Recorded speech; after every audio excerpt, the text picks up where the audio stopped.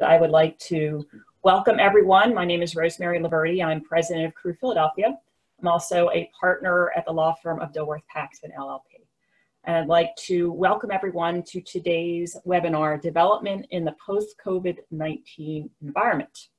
So with us today are Ed Klimek and Mayva Donnon from KSS Architects, one of Crew Philadelphia's valued and longtime sponsors.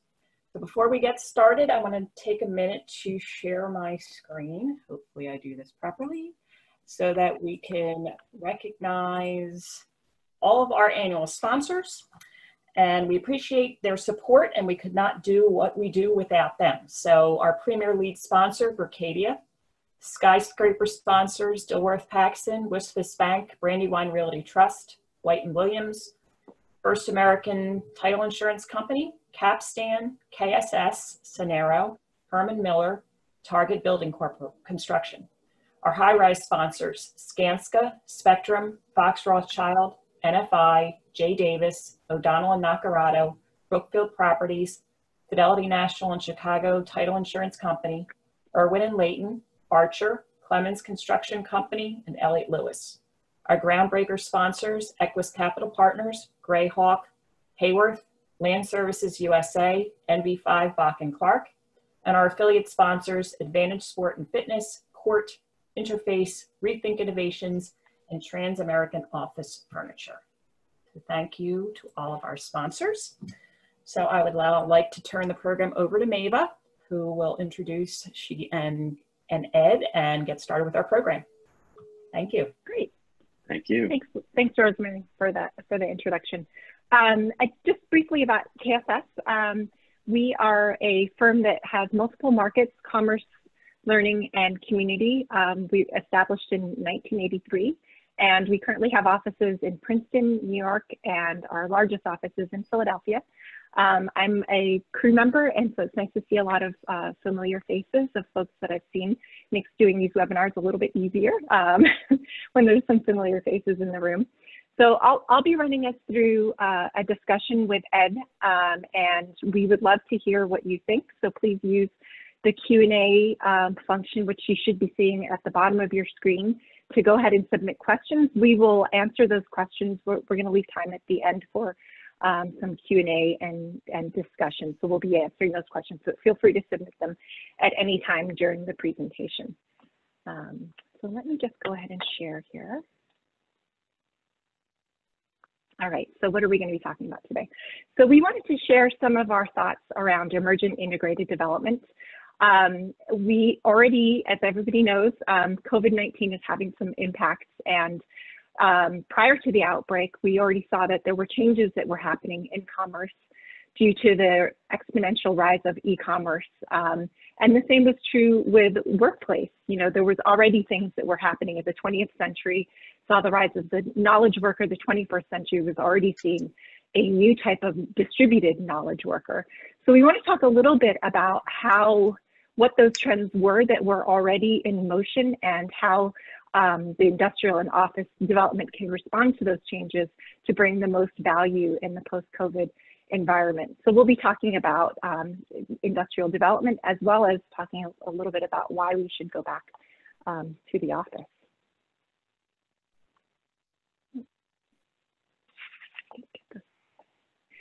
So we oftentimes have these moments of inflection, you know, where there are oftentimes major events that trigger lasting changes to um, to the marketplace, and those are oftentimes positive changes. Um, this is a, a, great example from history: the Triangle Shirtwaist Factory fire, an absolute tragedy. Um, a large number of uh, factory workers died um, as a result of this, and it was one of the largest and deadliest uh, industrial disasters in the history of New York City. Um, majority of the uh, folks there who were working there were women, but um, the fire led to legislation that required improved factory safety standards and helped spur the formation of um, garment workers unions. So, you know, ultimately this has brought about some positive changes in that in that industry. So when we look at what's happening today, um, we could say the coronavirus is, is a kind of fire of today. So we wanted to talk a little bit about what kind of um, impact the pandemic of today is going to have on industrial development. We already knew that commerce was changing um, due to the heavy, the fast rise of e-commerce.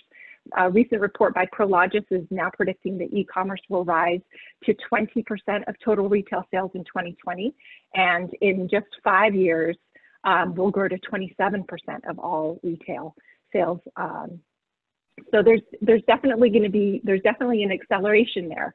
So I would like to turn it over to Ed um, to give us you know talk a little bit about what do you what do you see happening there and give us maybe a little bit of historical perspective um, as to what's happening. Sure, um, and you know I think as you said, Mayva, these are things that already had started to happen, and really what we're seeing is this is an accelerant uh, to those things, um, and it goes to history. You know, you, you mentioned the shirtwaist fire. Uh, it was a horrible tragedy. Um, the tragedy of it was that so many women died in, in that factory. Many of them actually ha having to leap to their leap out windows and, and fell to their deaths from the seven story window. Uh, and, and, it was all because fire exits were closed because um, they didn't want people leaving.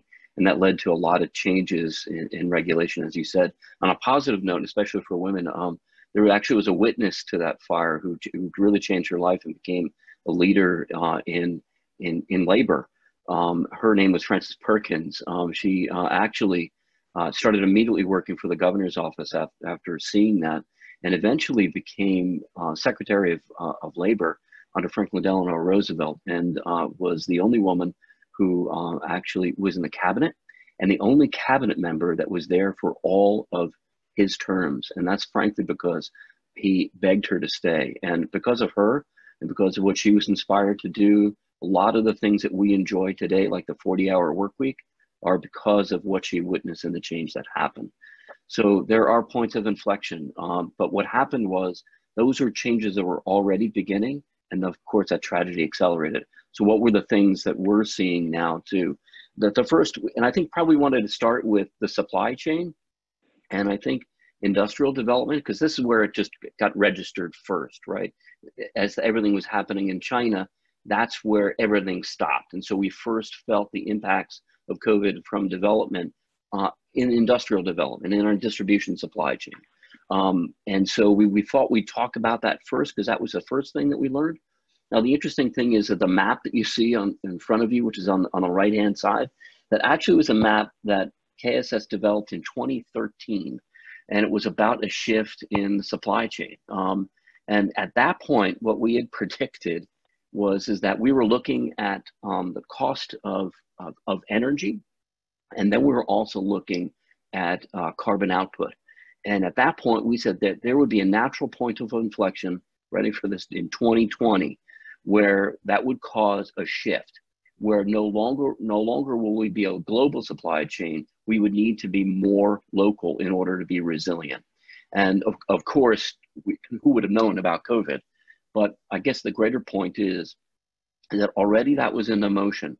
And it got to me too that understanding this because we are, because of the lack of sustainability in the supply chain and even the way that we develop and the way that we live, that we were going to encounter something, whether that's energy or whether it's something like COVID.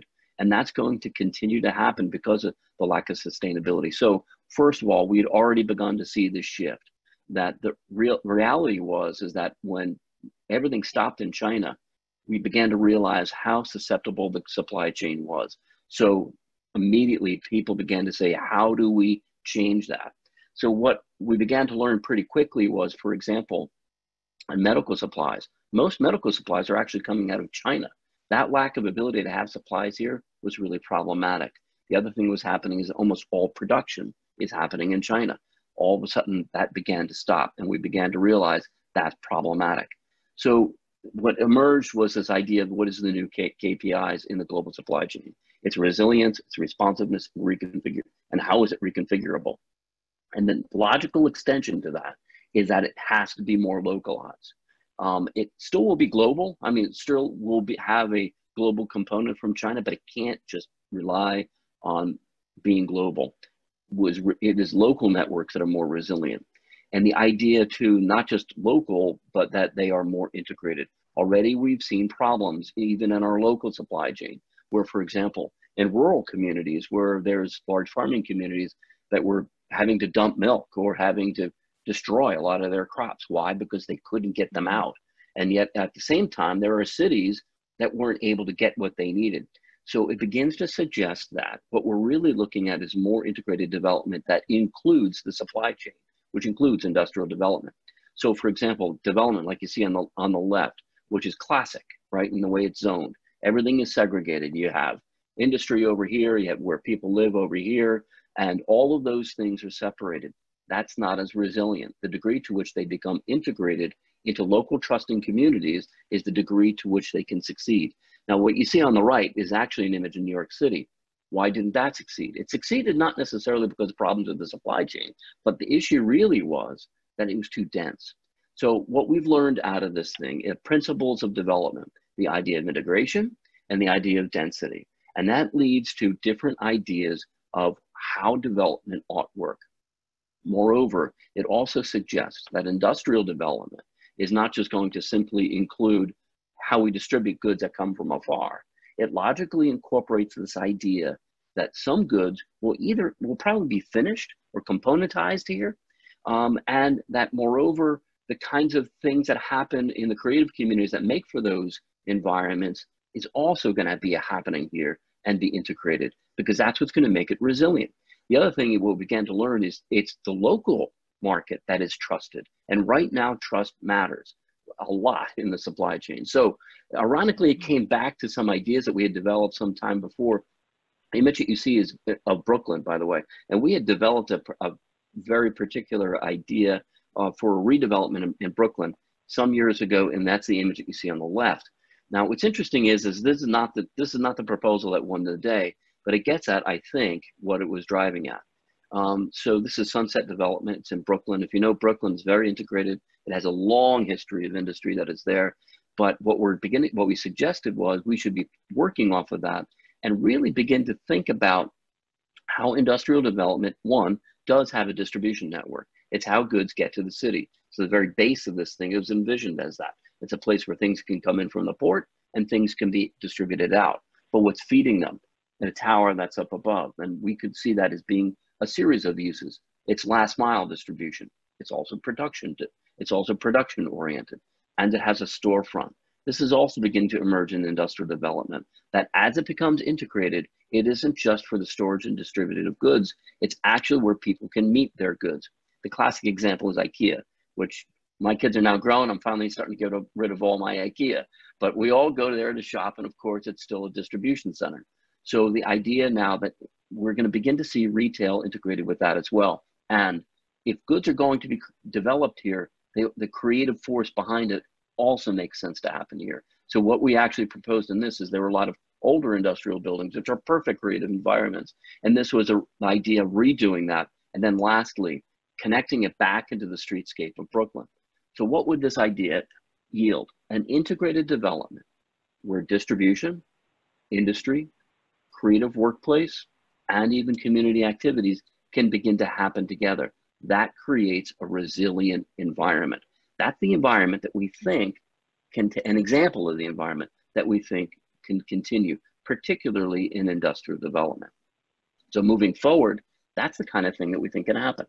Then you have to ask yourself, all right, if that's resilient and that works, where was the problem? The problem was density. Well, a lot of what we begin, and all of us are beginning to see this already, is the idea that if we talk about that integration, it's really urbanization. That's what urbanization is all about. How you take a variety of different uses and you bring them together and you create a single living environment. What, although it can't centralize itself in just a few places anymore, we learn that's not sustainable as well. Already we're beginning to see this trend where tertiary cities are redeveloping, where there are living environments and working environments, and making environments and distribution environments that are all beginning to happen together. So the idea is that that what we that model that we projected for Brooklyn might even be able to make its way across the United States. And when we have that degree of urbanization and integrated communities, is how we think the new industry might live in within environments themselves. So it's a different kind of development. It suggests that um, the places where we get our things and the places that we make our things, in order to be resilient, can't be apart from us. Now, on top of it, you know, maybe you, you were talking about too, that this was all a trend that was already happening, right? So e-commerce was certainly already happening. Um, and if anyone doesn't believe e-commerce is happening, look outside your the door, the boxes that are probably piling up on your doorstep right now, right? E-commerce. My, my local post office has has a line out the door. Exactly. Pickup. Yeah. yeah. Exactly. And you know that was what was going to make, you know, that's what's kept us alive. It kept us working. And all of a sudden now I think we can begin to see how that really does integrate well into this overall uh, environment in which we live.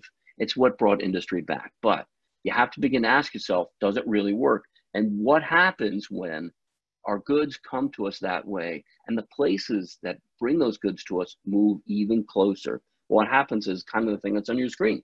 And what we began to see, and by the way, I really want to emphasize that this was already happening. This idea that the, our distribution centers, they're no longer just warehouses, right? These are places where goods are sorted, where they're compiled, where they're brought out to us. And it's no longer just five people working here. It's not unusual for one of these to have 3,000 people working here at a given time. So this is a new kind of a workplace. And it's where people need to live and work. And now we're beginning to see them. So what's happened? Now, first off, again, this is part of a, a long history. And actually, um, uh, from the Philadelphia Inquirer, Emily, I'm going to screw up her name, Guendelsberger, uh, wrote a, a, piece in this on, on the, uh, actually a series of pieces in the Philadelphia Inquirer, but also wrote a book around this called On the Clock, in which he described the experience of being, of working in this kind of a distribution facility. I'll just leave it like this. It's not good. You know, they, they have, uh, as an example, and the classic thing that that she points out is when you walk into the space, they have vending machines full of pain relievers that are free.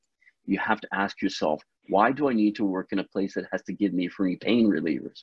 And that's just one example of it. There's a lot more examples of, of things that just don't work.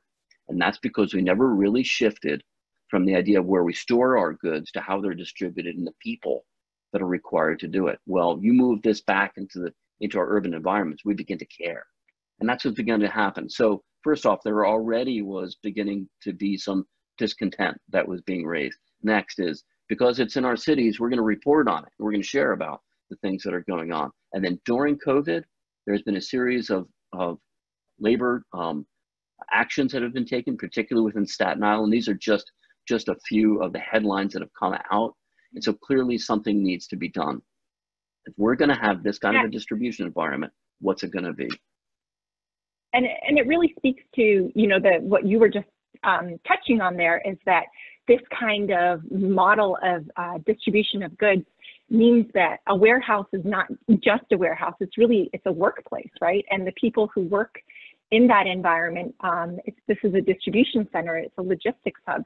These are people who are well trained you know who have um, who have um, particular skill sets in order to be to do those jobs. And you know, as, as many of many of you may, you know, business owners may, you know, be, be able to connect, you know, people have value, right? Um, in order to run a build business well, you need to invest in people um, and treat them well. Um, this is just a, a slide um, with some data shared uh, from some of our clients um, that begins to give you a sense, you know, of where the costs are for somebody who's running this type of a facility. And you can see, you know, the salary benefits 90%, rent operations, energy 10%, you know, far and away, people are valuable and really necessary to making these distribution centers work and function and, you know, for us to get our, our Amazon package, you know, on time within one day or two days um, or same day. Um, and and our clients have begun to you know to appreciate that so you know the cost of a work the turnover is 25% of salary when you begin to look at that across an operation if you have a high rate of turnover this is a big business cost so and I know this is something that you know you've certainly been thinking about um, and talking to our clients about. That you know warehouses are workplaces, and so how do you make the workplace more humane? You know what is it that our clients are starting to ask us for? Yeah, and you know, I think what you you talk about, Maeve, is that so that was data that we got from our clients, right? So, mm-hmm. um, and that was, and I, I think that people just even a few years ago would not have thought of warehouses, right, as having a significant labor component in terms of cost. Well, first of all, they're not warehouses anymore. As you pointed out, they're, they're something different. They're workplaces. There's a lot of people that work there. Um, and as a result, the costs are, are extraordinary for labor. I think there's another component to that, by the way, and some they figured out that to retrain, you know, you, as you mentioned, these are sophisticated jobs. There's a lot of technology that's in place mm-hmm. in, in a distribution center. It takes a lot of training to get somebody to work there well. And so what they also found was is that people were willing to leave. They were willing to leave for just a dollar more an hour. And that didn't make sense, you know, for the company economically um, because it cost, they figured out because of people moving, 25% of labor costs were just retraining. So it's an extraordinary cost. So you begin to ask yourself, well, why, you know, what keeps people there? How do I keep people there? And I think it goes across the board, you know, and, and maybe you mentioned about, you know, um, people work in offices and people work in distribution centers. this is work. This is where people want to work. Why do right. people work and stay? Because they because they belong, because they have a sense of belonging and a sense of purpose that's there. So what we began to understand is you have to develop that back into the distribution center itself. The image that's in front of you, which we'll go through in a minute, is an image of a proposed inside of a distribution center, but it has all the components of the things that are going on. It's a pretty sophisticated workplace. And the degree to which you can design it so that people want to go there and stay there, you have something that A, responds to the business case that you just talked about, but also B, responds to what is the nature of the new development that's happening. If this is the new resilient model, that's the thing that we've got to work our way through. So, mm-hmm. give you a bit of history, as, as you've said already, this is although we've done, we've accelerated the things that are already happening. So already this was beginning to happen. Let me take you through a couple of examples of how it was beginning to happen. So the first thing is, um, um, this is one of our projects. Uh, it's uh, in, in Bordentown, New Jersey. It's about 1.2 million feet. Um, and this is, we've done several ground up buildings for, uh, for Grainger over, over many, many years. Uh, great client. Um, they were, I think, one of the earlier adopters of the idea that they needed to focus on their workforce. Um, so the distribution center that we designed it is very different than the kinds of things that we had been accustomed to. The image that you see in front of you is not the classic office entry area. That's, a, that's the employee amenity space. What you're actually looking at is the cafe space and all around the cafe space are all the break spaces that they've built in as well, because it's a tough physical job. And they want to give people the ability to have a rest, to get their heads out of it, get out of the noise, to be able to have a comfortable meal. That's all the amenity space. That's where they invested it. Um, so, and it has a connection to the and, outside, the as fact, an example. And the fact that you're even calling it an amenity space, right, that further kind of draws the parallel to workplace, right, which is, you know, something that we've certainly seen with office buildings to be competitive, right? You have to have a certain amount of amenities that people have kind of come to expect um, within their work environment. So it's interesting to see that there's kind of a parallel um, development within the industrial workplace. And that, you know, two, 2,000 people work here. So um, mm-hmm. keeping them was really important. We even conditioned the building, by the way. Uh, a lot of times we condition distribution centers because of the goods. We do a lot of pharma, as an example. You have to because it's regulated. We conditioned this because of the people, and it really made it. It makes a huge difference in terms of, of their retainage. That's been the culture of Grainger for a long time. So we learned an awful lot from that. Now, so the idea was we wanted to find something that's tangible. We believe that there, uh, we know that there is new regulation coming out concerning this. We know, as you saw by the data, that there is uh, a, a, we want they want companies want to be able to keep their people there. What is the credible way that we can build that? You can't just go, oh, because I built it and it looks nice, people will stay. No, we wanted to dig into something that actually would give us research to say this actually supports th- that process. And so what we started uh, the idea of really supporting people and their wellness. So we turned to the well building standard as what had been developed by Delos um, and wanted to apply at least that framework of thinking to know that we have are working towards actual metrics that support people's physiology. And so these are the these are the elements within the standard. By the way, just the previous image, um, it, this is not entirely without precedent. Um, so that this actually was done by Prologis in the Netherlands. I should also say that there is a building right now going up in Piscataway uh, that Rockefeller is developing for Kuehne and Nagel. that is also in the pursuit of a well standard, hasn't obtained it yet, but it's in the pursuit of it. Uh, and this one did obtain it. Um, it's very loose though, and we had actually developed the the um, uh, we we actually developed LEED for distribution centers. And at one point, they were the, you know the square peg in the round hole.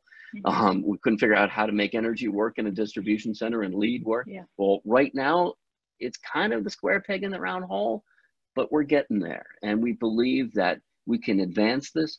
But just like LEED, it is built on metrics. And when you build it on metrics, you can make it relate to the to regulation. You can make it say that I am supporting the well-being of my employees because I'm doing this, this, this, and that, and this is the information that backs it up. So this is the well building standard and the kind of the, the elements I think that many on, probably on this call are familiar with. They've been used in the in office environment for quite some time. We wanted to figure out how to work this into the environment for the distribution center. So I'm going to show you an example basically of how we did that. So um, and this is this is the repeat of the same image. I want to get a if anybody knows industrial development, this is a pretty typical industrial development. Well, mostly typical for the things that you're, that you're seeing. And so, what are you seeing? You're looking at a, a laydown space. You're looking at a, a, picking mezzanine that happens over on the left hand side. You'll be familiar with all the stairs and all that stuff that you need to access it as well. You're probably already familiar with the kinds of lighting that's introduced. If you look just to the right of the slide, although I think it may have cut it off here, You'll see the clerestory windows and whatnot that we've built into it. You'll see, for example, we have pump rooms and all that stuff. That's all the typical stuff that we're used to. What we did, and this is for a particular client, by the way, they adapted it a little bit. Um, and this is just one element. We actually went through and broke down a distribution center and how it works.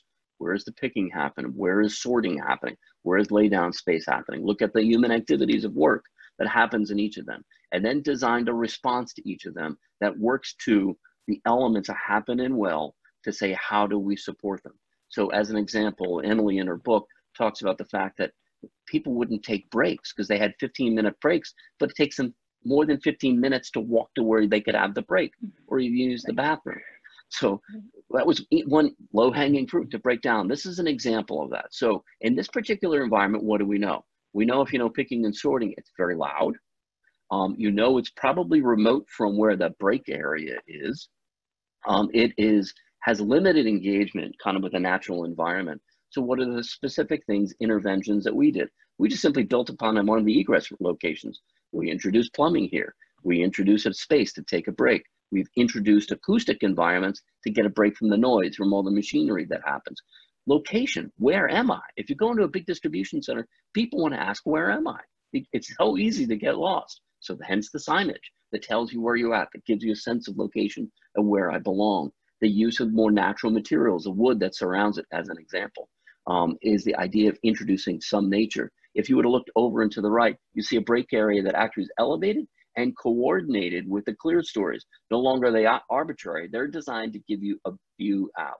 And the last thing that we incorporated, for example, here is the idea of the lighting is different we're actually introducing circadian rhythm lighting into these elements. We recognize that people even work during the night shift need to begin to have those kinds of elements. So this is actually being implemented by, by a company as well. So all of what we did is we took down all of the particular functions that happen in the distribution center, broke them down this way, added design enhancements to them, tied them directly to the well, the well method, to create a framework to consider the entire distribution center. The intention is that this creates a workplace environment where people will want to stay and work in which they belong. That's the intention here. It makes sense economically. It makes sense in just in terms of, as you said, the humane aspect of, of work. And it makes sense in terms of the kinds of development that responds to a more integrated development where you see where your products are coming from. Mm-hmm. We believe that that's and, the kind of framework that's going to work in the future. Sorry. Yeah, and it and it speaks also to kind of an empathy, right? You know, correct, correct me if I'm wrong. We, you actually spent a night in in a warehouse also in yes, order to yes. in order to develop this, to really put yourself in those in those shoes. Um, so I, I'm kind of curious, you know, how how did that empathy or visualizing yourself in that space help help you think about uh, using these moments throughout? It helped a lot. Um, so yeah, you know, I've spent, trust me, many a day and even evenings in a warehouse, but always as an, as an architect trying to figure out how to, how to solve it. um, mm-hmm. a few of us went in actually as a team and put on a different hat, and that was to really be a worker there. And it really opened up my eyes a lot into understanding what were the issues that were there. Um, the noise, as an example, um, the constancy of it. When you're there for a, a, long, extended period of time, boy, does it make a difference. Orientation. Now, granted, I'm an architect, so I'm, i can figure out where I'm at pretty well. You have no sense of orientation because there's no change in the color of the light, as an example, yeah. or differences in color within the space. Um, so you lose that sense, and with that, you lose that sense of belonging. We did also, by the way, spend a lot of time working with this company and actually taking surveys, interviewing people, and really built a long data list of things that we could work on to improve. So, you know, uh, it's not arbitrary. It looks cool, and it is cool. That's because that's what we want to design, right? But on top of it, it really is a response to very significant issues as well. Yeah. yeah. So I think that in the post-COVID world, especially, this is the kind of industrial development that's going to happen. It's going to be in communities. It's going to be integrated. It's going to have to deal with all the infrastructure that you do in urban environments. It's going to have a different kind of a scale, and they're going to be places to work. That's the new industrial development. Yeah. All right. So we've been talking a lot about the industrial development and you know how we really because you know in large part of the rise of e-commerce that these um, facilities uh, distribution centers have really become more than just large buildings, right? They've become a new kind of workplace and kind of what right. the nature and role and position um, within um, the community they, they, might begin to take. Um, and, you know, we look at those, we looked at that kind of workplace first um, because the, the, pace of that market has had to respond much more rapidly to some of the changes um, that we're seeing um, in the social political landscape. So we wanted to shift focus a little bit to talk about a different kind of worker um, and a different kind of workplace, um, and that is knowledge workers. And unlike somebody who's um, working for Amazon, you you know, which is a job you can't do from home, um, this is a job that you can potentially, you know, many of us are doing that job from home. I hear in my guest bedrooms um, down my here. Um, that's right. That's right. Uh, we're all doing jobs in different places. So, so the changes, you know, the responses had had to be a little bit more immediate um, in that in that typology. And you know, there's some immediate responses that folks are seeing um, now in the in the um, the knowledge workplace you know, I think we've all seen the six foot office diagrams and some of the kind of immediate responses to how do we get back into the building. And we wanted to take a slightly different take on that um, discussion and talk about, you know, the why. Um, and so just as there were, you know, we were talking about the social, political, economic forces for the industrial workplace, those are, you know, similar sorts of forces that have been operating within the knowledge workplace and have also similarly accelerated some trends and might be pushing us in some new directions. Um, so the 21st century distributed worker can be local and remote at the same time. And I think all of us are, are kind of experiencing that right now, right? That, you know, we all pivoted fairly quickly to being in a model where we, most of us were probably primarily in the office where FaceTime was very important. And we pivoted to doing um, a lot of remote work and that created, you know, new habits and expectations. Um, and, you know, we've also seen, so, you know, as we're settling into remote work, we're also seeing, you know, there are some of the major tech players like Facebook who have made some pretty bold statements about where they see the future of their workplace going um, and going to even more of a, you know, going back to having more uh, or continuing to have more remote work. Um, and this is a little bit of a pendulum swing, right? Because remote work is not a new concept. Um, telecommuting as a term was first invented in 1973 um, in the midst of an OPEC oil embargo. And it was uh, Jack Nilles was the, was the author of the telecommunications uh, transportation trade-off theory. And his theory was that congestion was really a communication problem. And that, you know, a lot of the congestion on the roadways, this was a little bit before I was born, um, so I wasn't there to experience it, but a lot of the congestion lines. Some of us were. Some of us were. Many of us, I'm sure, on this call were. Um, congestion that, that was really related to the way that we have to be in person to communicate in offices. So if you can support a way of telecommuting, then can you take cars off of the road and alleviate some of that energy demand and alleviate you know some of those other environmental impacts that come along with it. Um, so remote work's not a new idea. It didn't take off in 1973, um, and it's had, had maybe some fits and starts. There was a, you know a big swing up about 10 years ago, but then you know a pretty famous retraction. Yahoo called in all of their remote employees and declared that it was a failure. Um, but so it's not a new idea. It's not, you know, the first time that we're doing it. Um, but some would argue that, you know, maybe the time is right. You know, maybe this time it's different. The technology is there, um, and it's right for remote work to really have a substantial lasting place um, in the way that more businesses operate, or to go to something like a blended model. Um, so I'm going to turn it over to Ed. What's the business case? Why should we go back to work if we're, yeah, we're that, all getting comfortable here? Yeah, exactly right. Uh, it's interesting too because you're you, a couple of things. Um, one, one is the same principle that happened in, in, the industrial development that we're looking at in 2013. When you're when you're no longer living in a sustainable world, these are the kinds of things that are going to happen. Whether it was the OPEC crisis or whether it's COVID, um, these are the kinds of things, and they're going to happen more the more we uh, more we unfortunately continue to live unsustainably. Uh, and then, right, it, this is these are things that have happened before, and we've learned from them as well. Um, I think too that there was a lot of research done too, ironically, to support um, what you were talking about, telecommuting, as it used to be called, I suppose. Uh, maybe it's now Zoom Zoom commuting or who knows. Um, yeah, the right. uh, but um, it was to support why it would work. And what they did is they did research around why people work in office as well, and how is it you could adapt those things to work in virtual environments. And if you flip it around, it teaches you why you should go back to the office.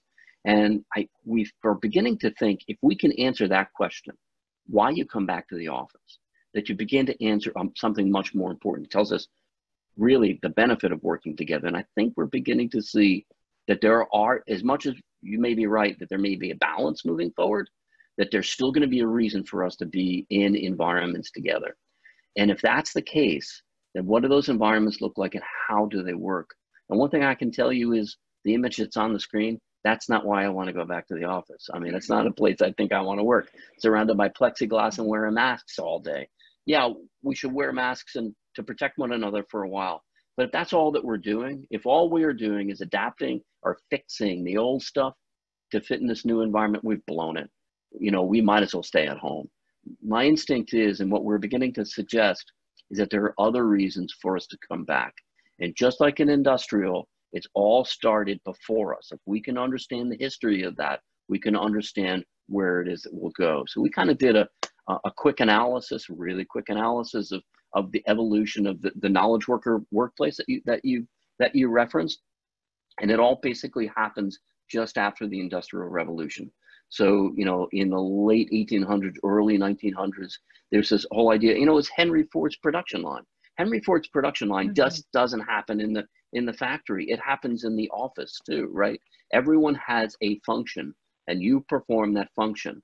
Whether it is the secretary who sits outside the office of the engineer who is doing their thing to produce some information to create the car. And everybody worked in their own chunk, their own cubicle, whether it was literally a cubicle, like in the like in the image that you see behind this, or whether it was an office. They did their individual thing and they reported back to the big boardroom. And you know what? That's exactly how the office place was set up.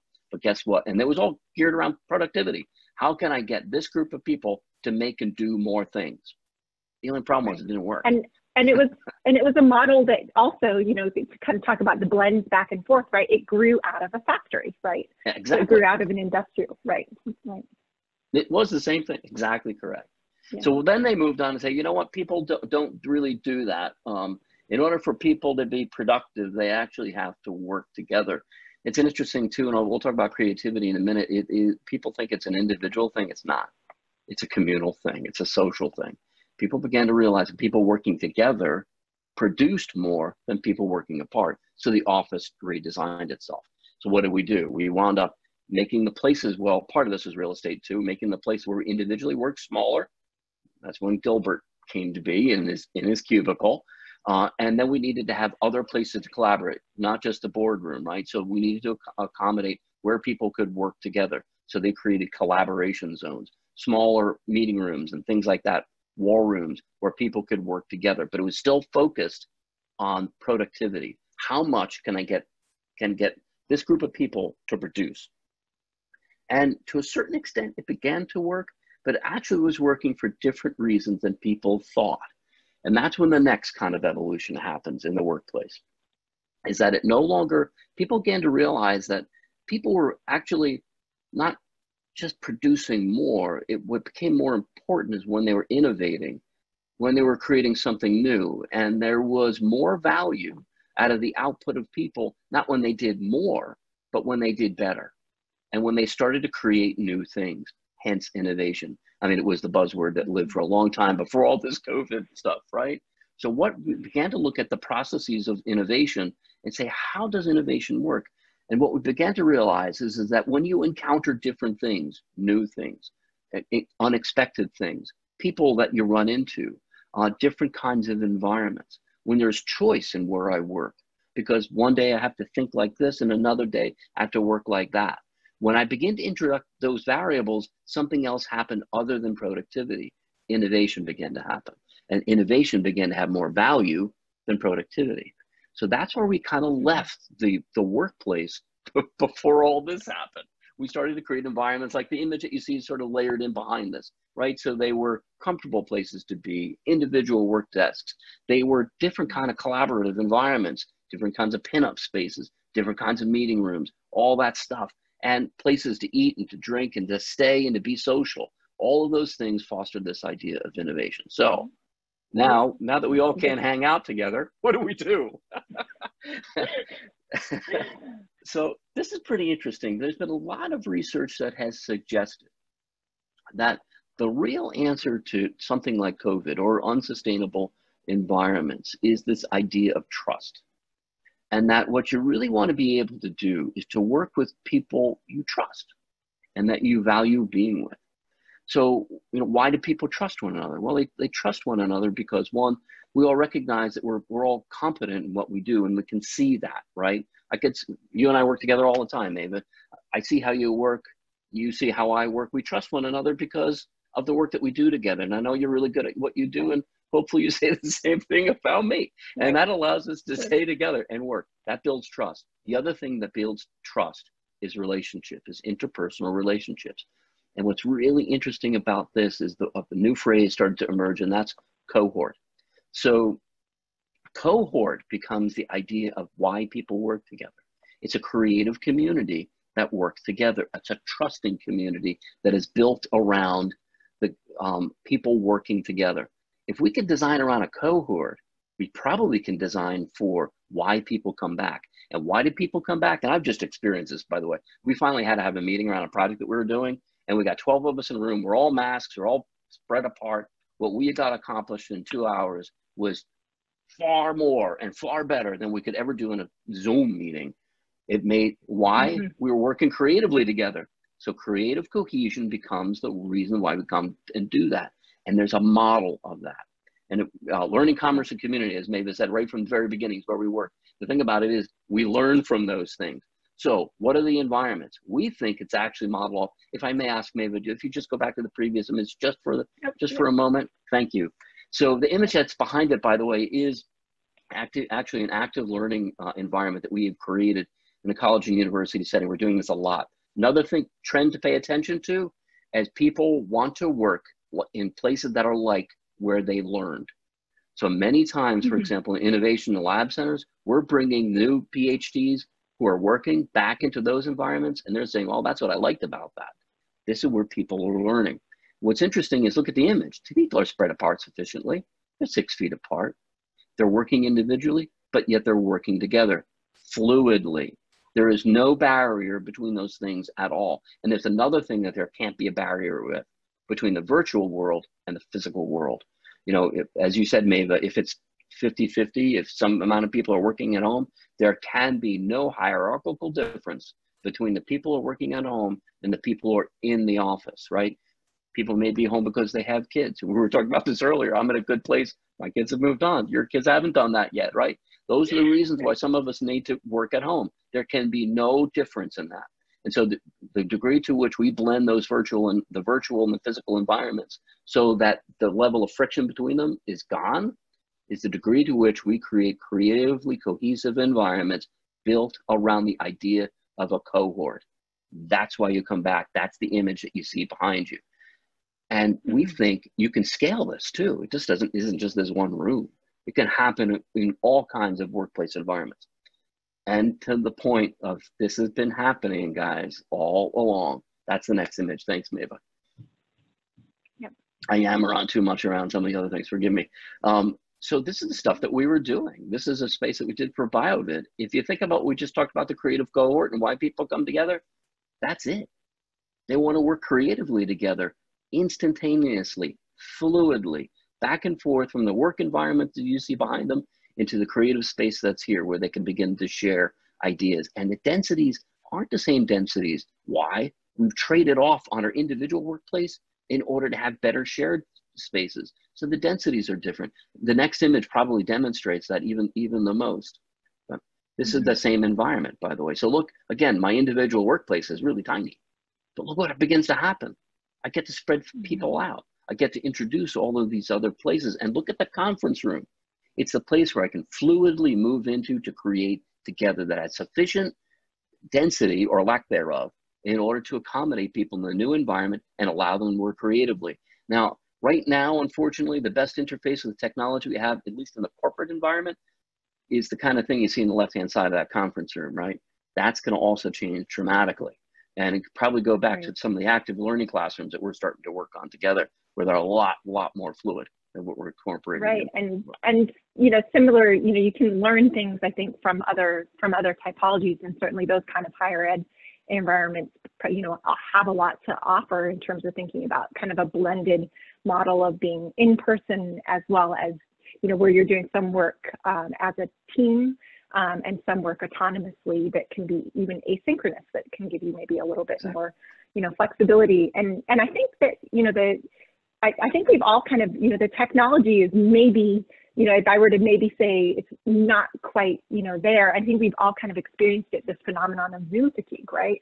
And there's a lot of interesting studies that that I point to you know some of the real measurable reasons why you know you might be feeling that. And and you know it, it relates to kind of our biology that we as humans evolved to be very social. We evolved a lot of sophisticated ways to communicate um, that rely upon in-person cues. And when there's just a little bit of a lag between the speech that you are hearing versus the way somebody's you know talking. If there's a lack of a difficulty making eye contact those things can you know add to your mental processing. So i think you know that's maybe you know maybe if the technology gets to the point that you can kind of overcome some of those um, difficulties, then maybe we won't need to be in person. but but I suspect that that 12 person meeting, you know, maybe it was so productive because you guys had all of those kinds of cues for communication that happens, you know, non-verbally, but when you're together. Absolutely. So, you know, and, and that's it. All right. That, that was the image we talked about that we brought in from the learning, the learning environments, the, that we created the active learning environments. And I, like I said, where people learn tends to be how they want to work. I think this is the kind of model that you're going to see moving forward. So it goes then to the bigger question of, uh, that we're really trying to answer in this, right? What happens to commercial real estate? What happens to, you know, should, should we be terrified we're never going to develop another office building again because everybody's going to hang out because they love Zoom so much? No, they're, um, and what's going to happen in industrial development, right? Is it, you know, is it all done now? What's going to happen with it? Well, clearly, right off the bat, we knew we needed new industrial development. We needed to work it differently, right? Um, I think we know the same about office environments. I'm very convinced that when we learn these things, when we learn the new ways in which we work and want to work, that's how we can create value in commercial development. And that's going to create the future, not necessarily needing more of the same thing. It's different things that support different kinds of distribution, different kinds, a different kind of resilient supply chain, and a different way of working. COVID 19 just simply accelerated all the things that were already happening. So what I come down to, um, and, Mayva and I were actually kidding about this in a get around. Please, everyone, don't do this this weekend. Don't do that. this is way too close, right? Um, but maybe maybe it's a hopeful because you know I'm, I'm all, we're all hopeful that this will end and we will have a vaccine and we'll be able to be like this again soon. But the reality is, is that we will always come back together. We will have learned from all this. And what will bring us back together is that idea of a cohort, that we are communities of people who share values, who trust one another.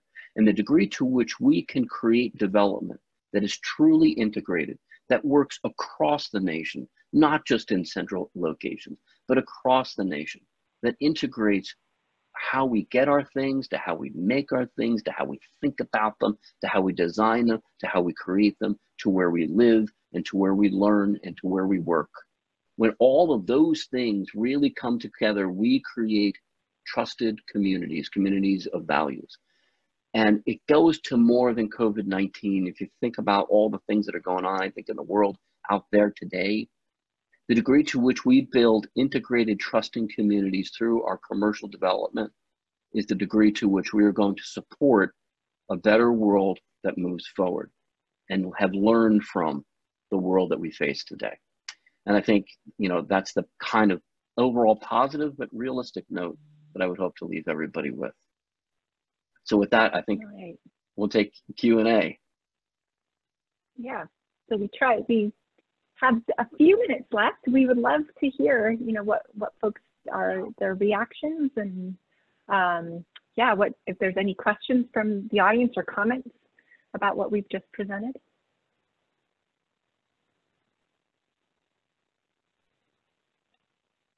No, I don't know if I'm not seeing. Um, well, I I have a few questions. Um, if, if, uh, if you if you feel like being a betting man, um, if you were to uh, be placing some bets, um, how heavily would you be betting? Or maybe I should ask this slightly differently. What kind of office space would you be betting on right now? Yeah, office space. So um, I think it's the kind of open environments that have a lot of collaboration and are have a big infrastructure in them for for all the visual stuff that we need to do. Um, I, and I also think more spread out. And we're already beginning to see this, right? Tertiary cities or even in the suburbs where we're beginning to create new kinds of office environments that's, that are more akin to what we had in bigger cities, but are happening there as well. I, I think there's a big place for that. So collaboration, infrastructure, and, and diverse. Mm -hmm. And what about, um, and if you were betting on uh, what what would you be, be, betting on with the future for retail and, and mall spaces? I think that's been something that has been, you know, a big point of discussion about the rise of e-commerce and, you know, our, if, you know, pa patterns of behavior continue to accelerate. That Prologis report is, you know, pretty startling, right? 27% of commerce in five years being online. I still think that people want to interface with the goods that they buy. Um, and I think there's a place for that. But I think that we've created this model where we'll interface with the goods we buy, but we don't necessarily have to bring it home with us, right? And we know that I can see a little bit of this and I can purport that into something larger. So in terms of mall redevelopment, it's a big question, how to, what, what to do with it. There will be a place for retail that is in addition to e-commerce. We did this around food recently, and you may, may remember this. There's a real trusting relationship that you build when I buy food and I see it. I don't have to buy, once I build that trusting relationship, then e-commerce works. So, but mm-hmm. that is going to have to happen through a portal like retail. Yeah. All right. We do have a question here from Susan Jansen. Um, what types of companies do you foresee taking these steps first, getting back to the office in this way? Creative companies. Um, and we're seeing it, right? Yeah. We want to be together because Knowledge. we create together. Yeah, and I creative companies aren't just architects. Um, we're all, it's also um, I'm working with right now with a research company. Um, does a lot of early early research. They want to be together in a bad way because of that. They want to collaborate in that that way that makes for no friction. Mm-hmm. All right, we have time for maybe one more question. Um, maybe there are some questions in the Q and A. I don't know if you can see them, so um, I'll read. Uh, what Thank kind you. of materials are most important right now? What kinds of materials? Materials. Uh, in terms of uh, construction materials? um, yeah. um, construction materials right now, I will tell you that um, we are going crazy with redevelopment right now in urban areas around industrial. Uh, steel is getting to be a problem again, believe it or not. And so is concrete panels and all that stuff. So um, it's happening fast. So there is beginning to be a, a shorter supply of materials. All right. So one, one more question here about as we move forward to reopen offices while still dealing with COVID, what are the reasons to motivate employees to come back to offices? Can designers collaborate from six feet? I think you maybe are, are in the midst of thinking about this also yes, for our company. Yeah, so the first thing is, yeah. is you ask your employees, right? Find out why they want to come back. Um, you'll get to the bottom of that pretty quick.